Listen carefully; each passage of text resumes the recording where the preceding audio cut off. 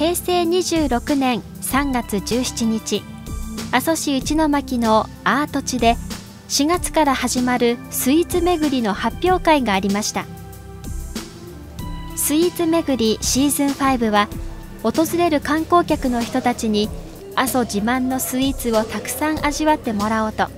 市内24店舗が阿蘇市スイーツ巡り実行委員会を立ち上げて開催しているもので今回で5回目となります。それぞれ各店舗から出品されたスイーツを前に田野正文会長が自慢のスイーツをアピールし多くの観光客が楽しめるように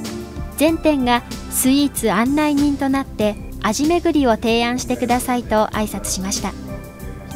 そして手作りのスイーツの試食をしながら意見交換を行っていました。チーズケーキやシフォンケーキをはじめ石垣まんじゅうや白玉ぜんざいやコーヒーサイダーなど